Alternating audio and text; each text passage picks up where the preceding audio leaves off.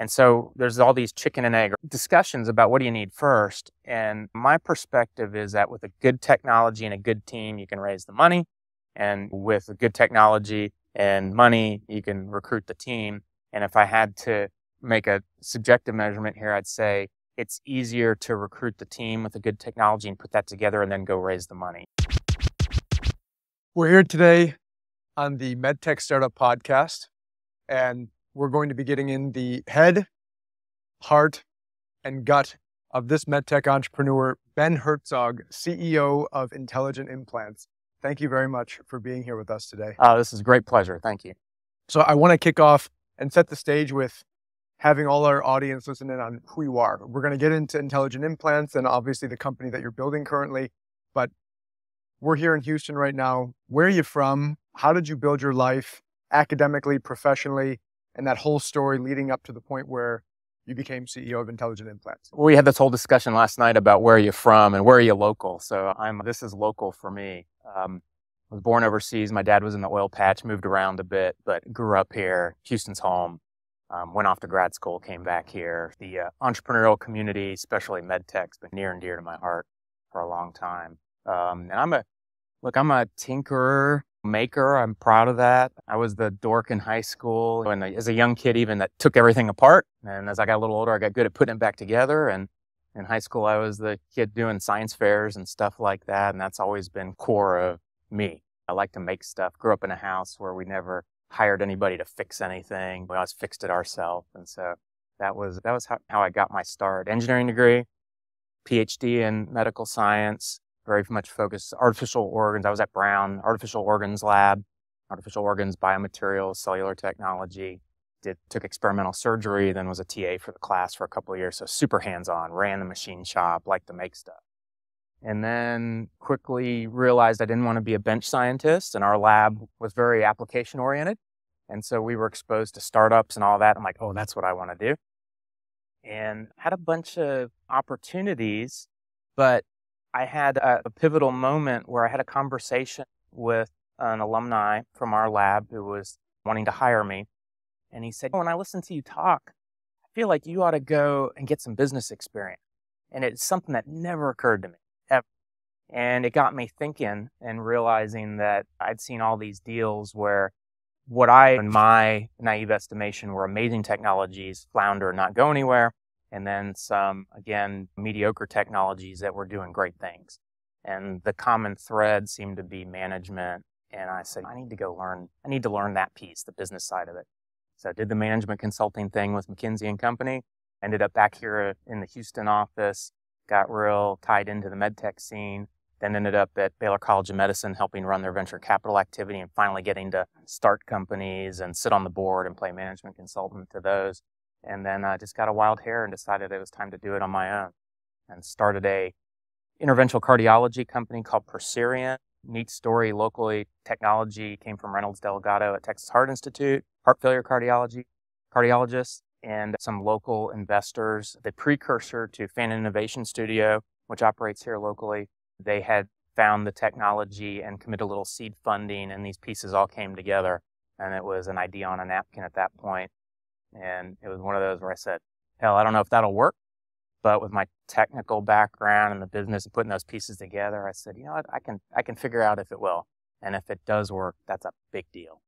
Built prototypes in my garage, brought in a strategic investor. We went down to South America, did first in human studies, and that one was off to the races. And then found the current company, Intelligent Implants, after I handed over the reins to Procyrion, which was my first startup. I went to Johnson Center for Device Innovation here down the hall and was an entrepreneur in residence and found this technology, a Swedish team that's doing this amazing stuff in orthopedics with smart implants. And I've been doing that for the last couple of years. Now that we're there and we're going to pull apart and dissect everything that Love you it. said because that's the entrepreneurial story that we want. But let's talk about intelligent implants. What are you building in terms of a technology with the company? All right, I'm super excited about this. We have the, the fundamental technology is microelectronics that use electrical signals to accelerate, control, and remotely measure bone growth. And so this is a technology platform that we're embedding in orthopedic implants that allows us to direct the electrical signals around an implant and get the body to 3D print bone in situ, exactly where we want it to accelerate healing. And then we use those same electronics to track and measure that bone growth, and it goes to the cloud. And then we can put that in front of the surgeon. And if you take a step back and think about medical devices, this is the future we've been talking about smart implants. And the key piece for me was having a therapeutic and a diagnostic that are paired because we've been talking about smart implants for a long time, but so much of that conversation's been around adding sensors to implants. And the business model there is a little more complicated, right? I saw this and I said, oh, this is cool. This is what we've been talking about, but we have this therapeutic piece. If I can accelerate healing and I can improve outcomes for patients with therapy, plus I can track what's happening and directly measure the outcome of that therapy and be able to make adjustments remotely and put all this front information in front of the clinician real time without patients having to come into the hospital. Game changer. So that I think this is cool. I think this is the future. I think we'll look back in 10 years and wonder why not every implant out there was smart transmitting data. So this is a class three technology. It is. It's a that's a long discussion there, but the fundamental stimulation technologies class three. Orthopedics have traditionally been 510K pieces of metal and plastic. Ours is more complicated than that, but we're ap- actually on a path to do kind of one PMA study on the stimulation activation piece of this, and then separately be able to 510K all these implants that work with that system. And so it's the best of all worlds. You have this PMA, you've got good clinical data, but then from a commercial standpoint, drop a bunch of products on the market. Super excited about this. There's precedence for this, but that's the path for it. Quick pause on an educational journey for all these entrepreneurs listening in right now who want to start companies, who might be taking over companies. How important is regulatory strategy? You have this one product that you just talked about, but you just talked about a strategy. And yeah. What does that mean for the development of a company? How important is regulatory strategy?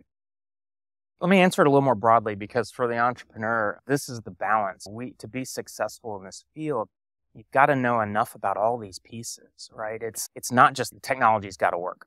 But you got to put all these other pieces in place for it to be a successful deal. And that's regulatory, that's reimbursement, that's commercial and go to market. That's the team, all these pieces. I always tell young entrepreneurs, I'm like, you've got to figure out a way to expose yourself to those things so you and your mind can see the puzzle pieces coming together to make a complete story. And you've got to be able to communicate that. You don't have to know everything about every one of those things, but you have to know enough to say, I don't know enough. I'm going to surround myself with people that know those pieces because you're going to need people that deep dive that focus on those things. Reg, reg strategy specifically is super important, especially if you're dealing with class three devices. It's hard. It's hard. And there's a lot of risk involved with regulatory strategy, whether it's in the FDA or whether it's CE mark. And you've got to have a handle on that, those risks and put them into perspective. Our whole job is risk mitigation. When you're CEO of these companies across technical, regulatory reimbursement, you're sitting there trying to systematically reduce the risk in every category. And and the company that you started before Intelligent Implants, Procyrion, that's also a class three? Also class three. You like the hard tech. Uh, yeah, and I have a perspective. It's my perspective. There are people who like 510K, you know, like we talk about doing singles and doubles, and then there's people swing for the fences.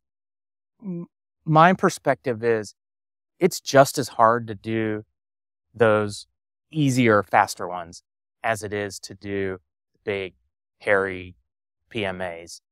And I don't know, one thing that drives me is let's do something that nobody's ever done before. I love that part.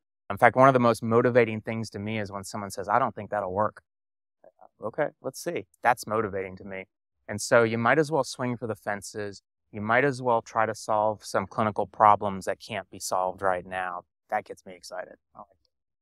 So earlier you mentioned someone said you should go get business experience. Yeah. So you became a management consultant. Yeah. You also joined venture, like you mentioned. Yeah. But you made a very interesting remark about any entrepreneur should, in order to be successful, has to know all these pieces, or at least figure out how to learn all yeah. these pieces. Yeah. When you left venture and then you started Procyrion, and correct me on my chronological yep. time frame, yep. but when you started Procyrion, that first entrepreneurial journey and coming from being a PhD, an engineer prior to that, did that management consulting experience give you that breadth and exposure to being that awesome entrepreneur out of the gate? I, I don't know, awesome and subjective, but I certainly felt like I was better equipped. On every step, you learn this new stuff and you realize how little you knew before. And I still, still, that happens every day, right? But all of these even the, the business acumen, the words, the lingo. I learned so much doing management consulting with McKinsey. I was a fresh PhD student, never been exposed to that. I came out of a technical family. My dad was a PhD, nuclear physicist. And so to be exposed to that and start to learn that is so important. The other piece of it was making that transition from PhD to business is you don't need a hundred percent answer on everything. When we're doing this, we got to move fast. So how do you get to the good enough answer as quickly and capital efficiently as you can to unlock the next door, the next funding, all that. And that's a key skill. And then maybe the third thing that I think was important was how do you tell a story? How do you communicate with investors and board members and executives? How do you think I'm I consider myself long on strategy, thinking ahead and what does this deal look like to a strategic? If you bucket the exit opportunities in our field, a big a lot of it's M&A, right? Certainly historically. And so that means somebody's got to buy this. So what are they thinking? How do they think about new technologies? What does this have to look like? And the word I like to use a lot is strategic imperative. How do you do a deal that becomes a strategic imperative in a field with a lot of potential buyers? That's always what I'm looking for. So then when you started Procyrion, you brought up another interesting topic, raising capital. Was it your first time having to raise capital? Yeah. Yeah, that was my first time at the helm. What was that? Where'd you start? at the beginning. It's hard. Look, nobody should be sugarcoating it. It's hard. It's hard in good markets. It's extra hard in bad markets. It's hard if you have a good technology and clear regulatory It's, it's just hard. We did, we had this seed investor. It was called Alpha Dev, now Fannin Innovation Studio. So we had a little bit of capital they'd committed to work with. Very little, but enough to do some experiments and stuff like that. And we we tinkered with it for a long time. And that's one of the hardest pieces. We call it the Valley of Death. We have different names for it but there's this period where you have this innovation, you got this idea on a napkin maybe, or like this could be huge. How do you prove? How do you build the body of evidence that's big enough that somebody with a checkbook's willing to say, oh yeah, I'm willing to put some more money? That's hard. It takes a long time. And so some people do it in incubators, some people self-fund it, whatever. I wasn't in a position to do that. But we had a little bit of seed capital and we just tinkered with it and we built prototypes in my garage and we went to Texas Heart and did flow loops. And we just started building on the evidence at every step, asking ourselves very critically, does this work? And you get an answer like, oh, this looks like it works. Let's try the next thing. Oh, yeah, this looks like it works. And then you do this animal model and you're like, oh, damn, this works and it works really well. And so it's just chipping away at it. But there's that period's hard. And so then a bigger angel round, we got some money out of the state of Texas from what was called the Emerging Technology Fund. That was a game changer for us. So that was our first kind of little Series A.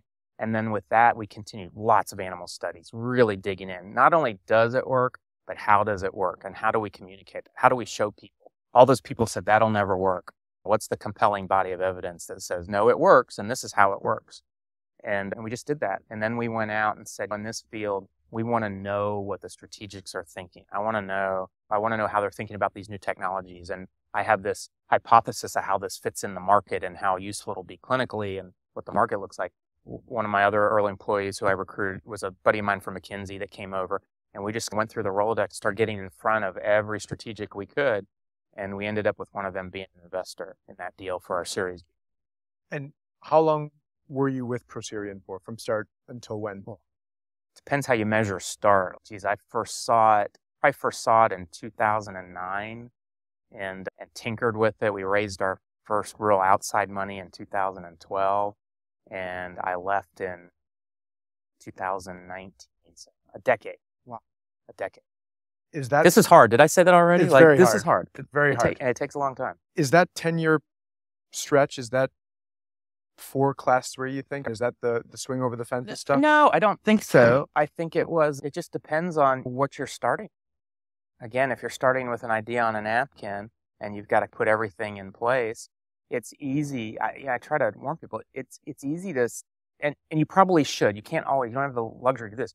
You always should tinker with these things for a couple of years. Make sure you really understand that they work. Be able to go in with conviction. It means say, this works. I know it worked. I've done it. I've tried it. But on that for all, once again all these entrepreneurs listening in, tinkering it for two years. Does that mean walking away from whatever else is putting food on the table and going head first, or what does that mean? However, you can do it. Most people can't afford to walk away from everything else. It's just you don't have that luxury. Nights and weekends, or however you got to do it, but spend that time making sure it works, you understand how it works, you got the IP sorted out, start to get smart on all the other stuff. But we have all these gate fundraising gates of what do you have to raise a seed, a series A, B, get acquired. And it all comes down to this idea about this body, what's the body of evidence you have? And it's different at different stages, but you've just got to make the best body of evidence you can. What's the most compelling thing you can do? For every dollar you're about to spend, what's the highest value you can create with that? What's the most compelling piece of evidence you can mm-hmm. create with that's going to open up that next gate for fundraising? Was Procyrion born in Houston? Yeah, very much. Reynolds Delgado, rock star interventional cardiologist, or not interventional cardiologist, he's a heart failure cardiologist, was tied to the big LVAD program at Texas Heart, and he dreamed it up. He, it was his idea, and, and, then he found Alpha Dev, and they got together, and then Alpha, I came to work at Alpha Dev and helped them work on the portfolio, and that was the one that I was like, oh, that could be huge.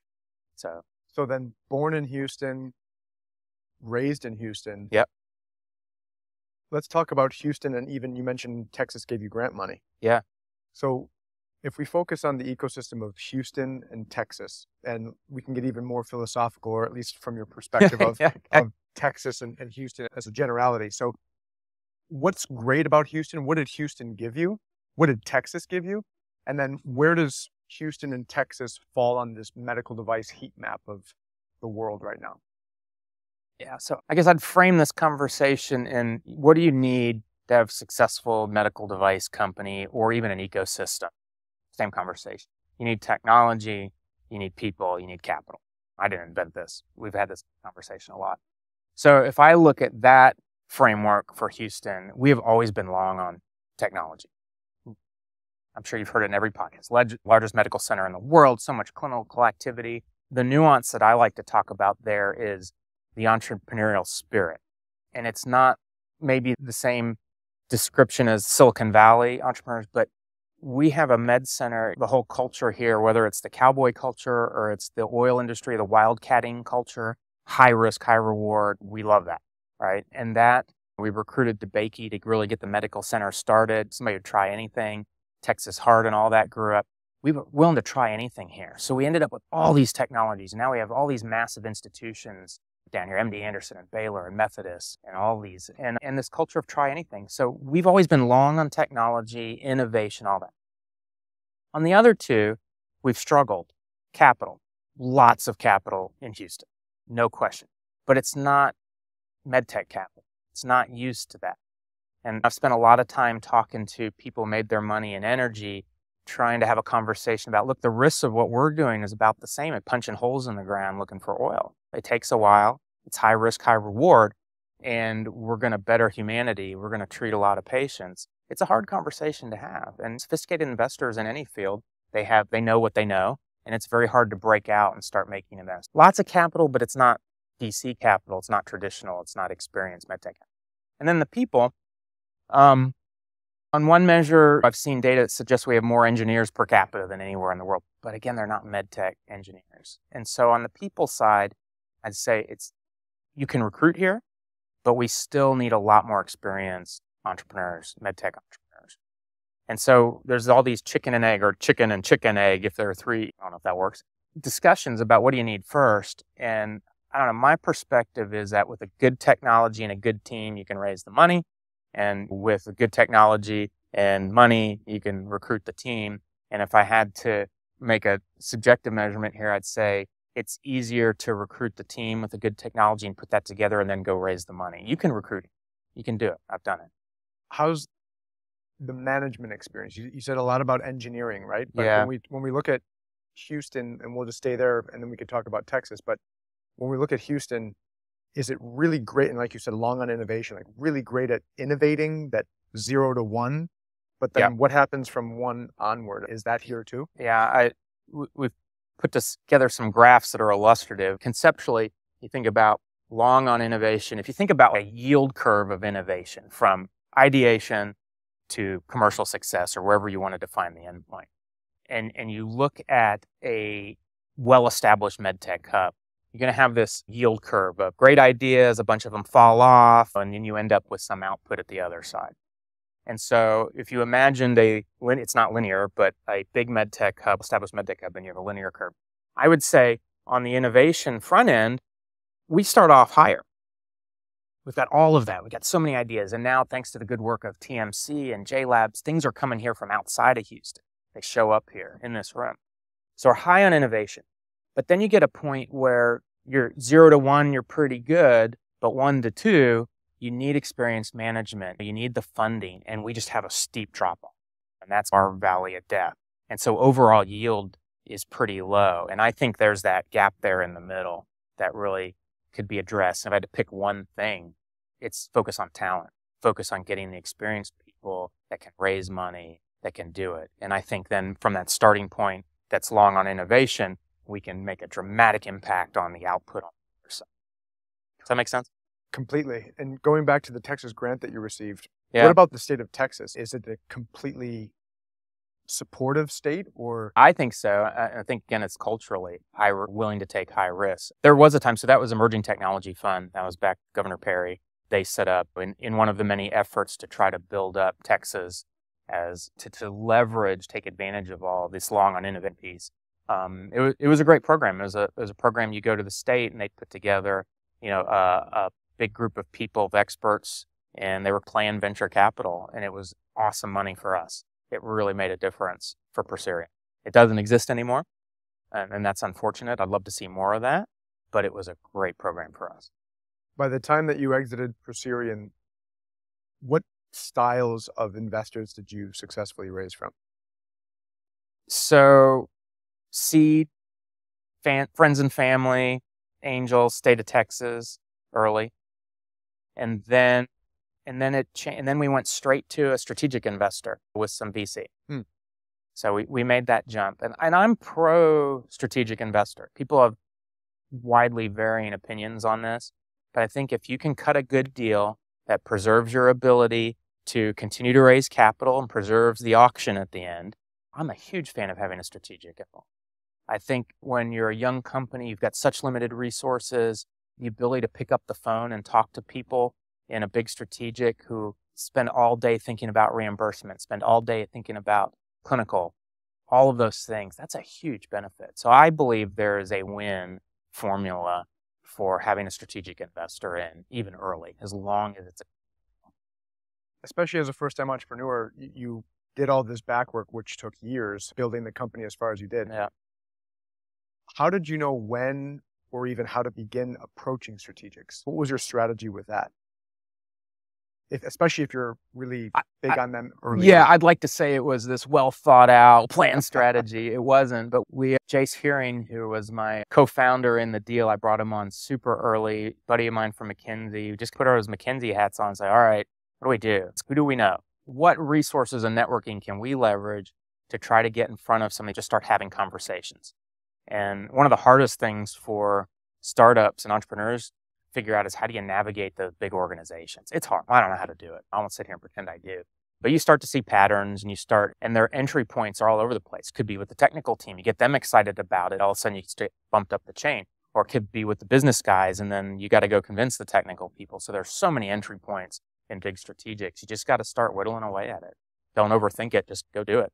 The dynamics of big corporate strategics, though, to wrap my own mind around it, because within these business development teams that are watching these technologies grow over time yeah. and building these relationships, what happens if, and correct me, I'm asking the question, do you build a relationship with one biz dev person at that particular strategic? And then what happens if they leave?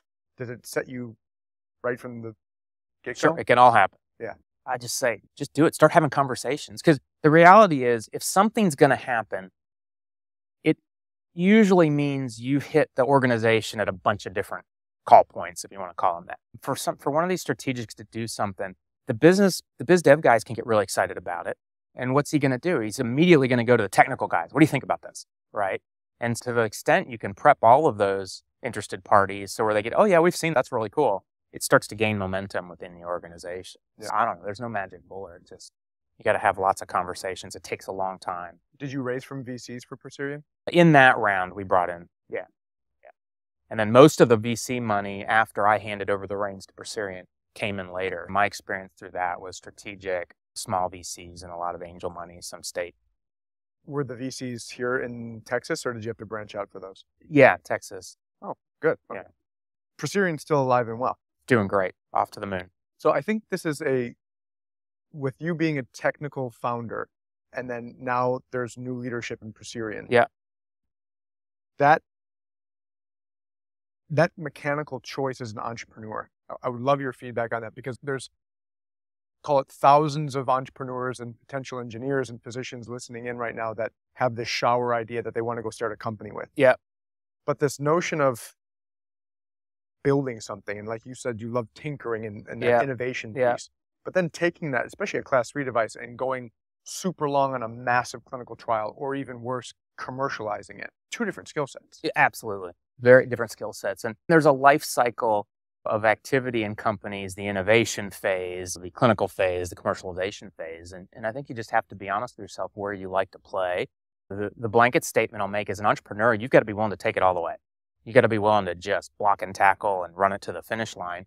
But I, when I do some soul searching, I like the innovation phase. I like tackling those big problems and doing something that's never been done before. That's more exciting to me than the idea of running a big clinical trial or building a sales force. Got sometimes you got to do it all, but I like that innovation phase first. And I think we all have to we're, we all have to figure out where we like to play and where we're best at playing and and again, sometimes you got to run it all the way and sometimes the best thing for the company is to bring in somebody who's got a different skill set. This is just normal stuff in startup companies. Yeah. happens all the time. Once again, for an educational moment, there's a lot of companies that I run across earlier stage, approaching mid stage and clinical phases. Yeah. And it, they are started by technical people. And Yeah. there's a lot, it takes a lot of self awareness, like you mentioned, but there are also a lot of self aware people out there. There's a lot of non self aware people out there too. But when you decide to hand over the reins and you're looking for that successor on the CEO side to, to Yeah. take everything that you've built and go, what makes a good CEO? Like, what do you look for? What is that process of self awareness of handing that over? Yeah, that's a great question.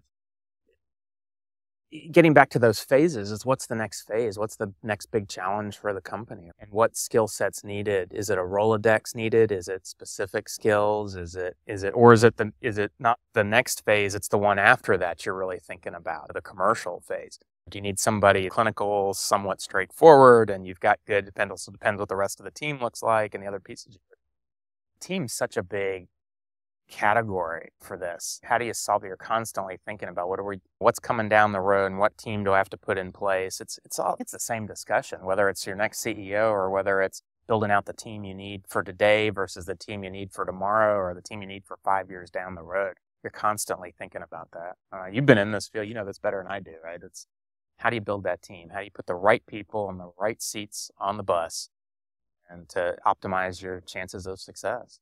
So, flipping gears real quick, you're currently running intelligent implants. You said you found it when you were over at J and J as a At CDI, at Center for Device Innovation. as an entrepreneur in Yep. residence. So now you're leading intelligent implants. Yeah, And it's a Swedish company. Technically, it's an Irish company. Okay. Swedish American founders and the core teams in Sweden, the technical teams in Sweden. So going back to the genesis of our conversation about someone advising on gaining that business and management experience. Yeah. What is it like being based here in Houston and an American entrepreneur running a European company? It, it's hard, somewhat thank you, COVID and Zoom. We have a lot of more technologies and everybody's more used to using that allows it to happen at all. I, I think there's a very common pattern of European c- companies wanting US leadership because in the world we're in right now, US market's the first place you go, even for clinical these days, right? There was a time, Know, what, five, ten years ago, 10 years ago for sure, where you would go get CE mark first, you'd focus on Europe, you'd build revenues, and then you'd use that to fund what you were doing in the US. But things have flipped. Uh, now the big markets here in the US. So um, this is a common pattern. You see a European company um, with built starting to build up the kind of management team in the US. So that, and that was the thinking. That's what the board wanted. And this wasn't just got hired one day. This is another one of these that evolves over time. Like I, when I was an entrepreneur residence at J&J Center for Device Innovation here at TMC, part of my mandate was helping them think about technologies that have been developed within J&J and how do we monetize them? What do we do with them? Do we spin them out? And the other part of the mandate was working with what they called resident companies so they could invite these companies in to live at CDI. And this was the first company they invited in and I got to know them. That's really cool. And so I just started working with them and they invited me to come on as executive chairman first. And I did that and we started working more and more closely together. And we went to the FDA and got a breakthrough technology designation for it. And that just evolved into, hey, would you be willing to come be CEO of this? Jumped at the opportunity. You're my Houston serial entrepreneur story. And you've now started Procyrion. You're now running intelligent implants class. I don't know if two data points means serial, but okay. For enough. me, it all is. right, you, all right. you were you were brave and bold enough to do it again, right? Yeah. And my whole thing is, we've heard line after line of, there's a lot easier ways to make money Oh, or survive There or is. live, and there's got to be this reason to do it not only once, but then to do it again. yeah. And all the learning lessons that you've done, and, and you've chosen the hard tech, so class three devices. Yeah. What keeps you ticking? Like, why are you doing this again? because I'm crazy. It sounds a little corny, but I've said it all throughout my career as an entrepreneur. It's that thought that we could develop something that could help thousands of patients, millions of patients. That's super motivating to me. That's cool. That makes it easy to work hard. That makes it easy to do this. And yes, there are a lot easier ways to make a living, but to feel like you're doing something important, like every step of the way, I'm like, this is important. And I say that to my team a lot. I'm like, "We- take this seriously. We're- doing important work and we're going to we're to change lives with this. There's no question. And so you have those moments where, like at Procyrion, we went down to South America and we did first in human studies. And to see something you first built in your garage go into a human and save their life, it's terrifying.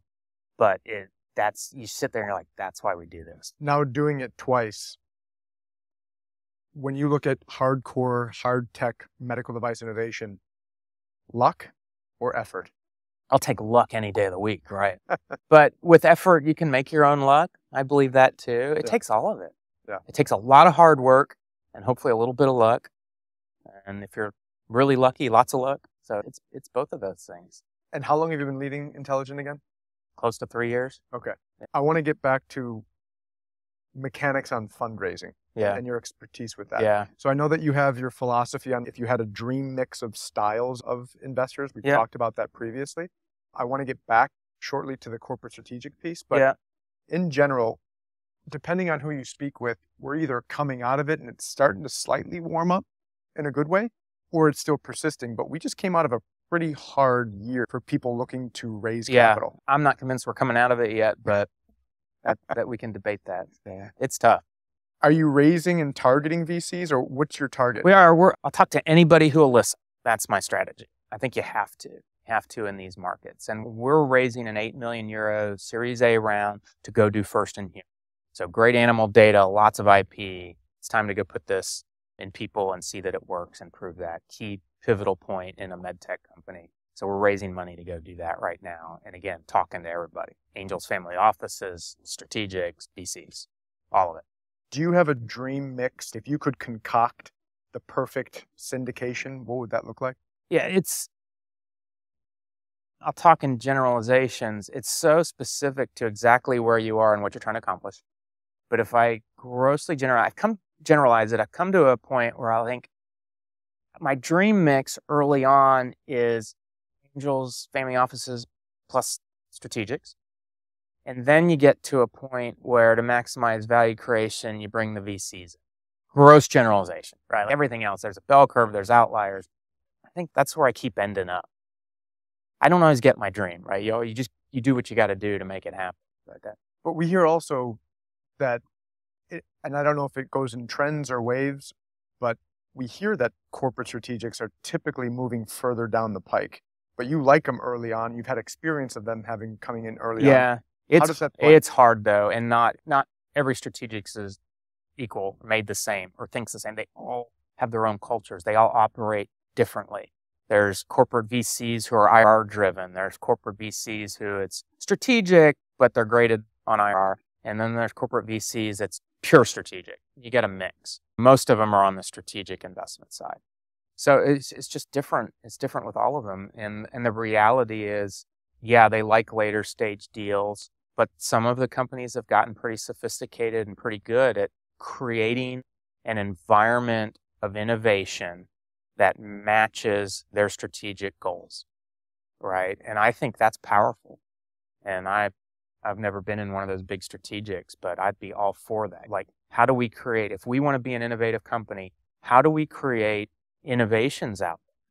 Because especially in tough markets and med device is even tougher than some of the other VC markets. How do we make sure that the innovations that we think are important to the future of our big corporate company are out there and surviving and thriving and create a, a, a universe of acquisition targets down the road?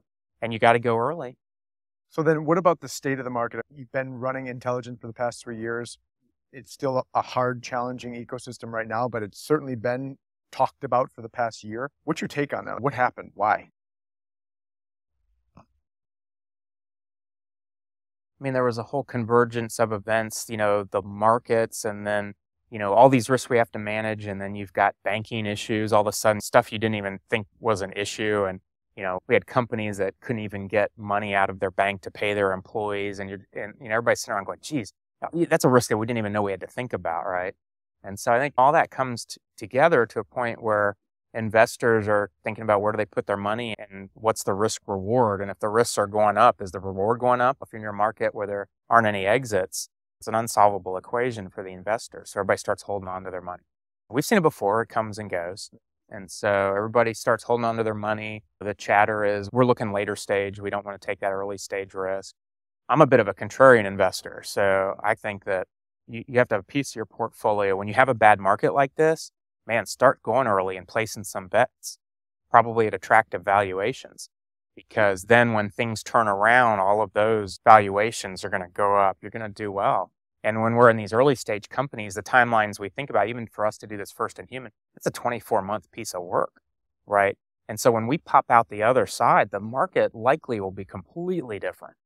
So if you get the valuation right for us and for the investor, there's an opportunity for huge upside. Is there a strategy or potential band aid solution where for all those companies out there who are struggling to raise capital right now, and they're hearing from VCs over and over again, we want clinical data, we need we yeah. later stage deals, et cetera. If it's such a pandemic within itself of this gap, what are some strategies that you've endured or even experienced over your years as an entrepreneur where, okay, fine, if you're getting no's from this stereotypical group, yeah, think about this and this.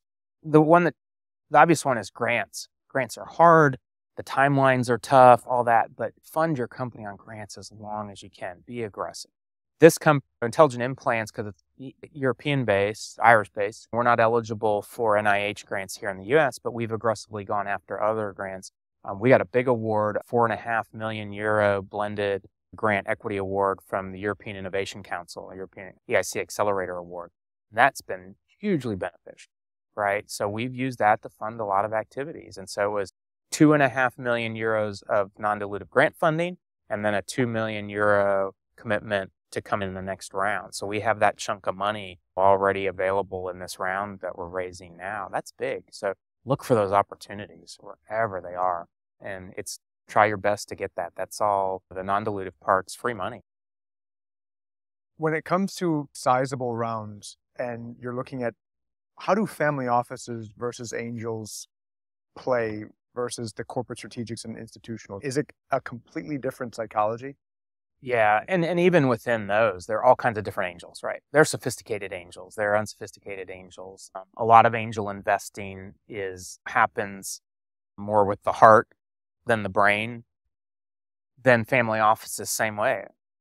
Widely varying levels of sophistication, maybe approach, maybe how they think about investments, how they think about timelines and things like that. Just and so it's all over the board, and you've got to you got to be able to adjust your pitch depending on your audience, like any other time you're pitching. So it's it's hard. It's really hard for entrepreneurs to navigate family offices, for instance, right? They don't. How do you even go about finding them? I, I don't have a good answer for that. Are those right. just cocktail parties? and Yeah, lots of networking and word of mouth. There are some conferences focused on that, but I wouldn't say I'm good at that. Yeah. and and your one of your philosophies would be at this point in the game of medical device innovation and where we are in the ecosystem, VCs play a really strong beneficial part later in development. like anything, there there's a bell curve, but gross generalization. I just if you think about to the early days of VC and what those people look like, they were operators. They'd started companies. They were used to rolling up their sleeves and being hands on. And the fund sizes, what was the average fund size? $50 million, $100 million, maybe for a big fund. And then those funds become successful and they raise $500 million funds. It's a different, the finances, the math is completely different. And so if you can find one of those really good operator VCs that rolls up their sleeves in that early stage, huge value add. When you get later stage, the value add is often strong connections with strategics and acquisition and kind of helping you craft the company into something that's going to maximize shareholder value. That's a little later stage thing. Ideally, you have somebody that knows all of that. They're out there. But early on, having investors, angels, or family offices, maybe strategics who have a little different view on timelines and a little different sensitivity to valuations and stuff like that. I just that that that feels like a more attractive mix early on to get you through all that, like to get to where we're trying to get, which is let's get first in human data. Once you have first in human data, then the conversations they change. So I, I want to sign off with on your personal journey. Everyone needs a strong network, especially as an entrepreneur, to be able to have that charisma to be able to go network, that desire to be able to go network and build that community around you to Yeah. help you along that journey. Yeah. Do you have a mentor that you want to sh- give a shout out? I I don't have one particular mentor. I it's it takes a village, right? I think that's what it is for me. I and talk to everybody. I know one of my key lessons is you got to turn over every stone. You never know what's underneath there. Talking, I'm always want to talk to anybody who will listen, right? Networking, even if you look at it and you're like, oh, this is going to be a waste of time, you just never know. Yeah. Man, network, talk to everybody and, and build that network so you have a Rolodex of people that you can call when you've got a question and you need some advice. Final sign off line from you is for all those entrepreneurs thinking about becoming a medical device entrepreneur for a class three device, what should they philosophically be thinking about when they're going into this fire? Find your passion, right? Find something you're really passionate about that you think is going to make a difference and just be willing for a hard, bumpy ride. We always, we hear these founding stories and we see the exit and the big win. You hear a lot less about the ones that didn't make it, but even on that one, it's not a straight line, right? This line goes, oh, there, there are peaks and valleys and you're zigzagging all the way around and just be, be prepared for that. If you're passionate about it and you feel like you're doing good work, it makes it all worthwhile. This is the MedTech Startup Podcast, and we just got inside the mind, the heart, and the gut of this incredible serial entrepreneur in MedTech here local in Houston, Ben Hertzog, CEO of Intelligent, Intelligent Implants. Thank you so much. For your Yeah, time. really appreciate it. Yeah, awesome. Thanks, man. I drank this I cold brew something that Okay. Texas made, Um, and the guy warned me, and I'm a coffee drinker. Guys, just be careful and dilute this thing. I'm like, I just playing. I woke up with work. I'm drinking this. I finished this thing at two o'clock in the afternoon. I literally laid in my bed after getting back last night. My heart was going through. I literally didn't sleep. oh no. Oh no. So I'm waking up, I hammering coffee. So the morning, I'm just like, keep going, baby.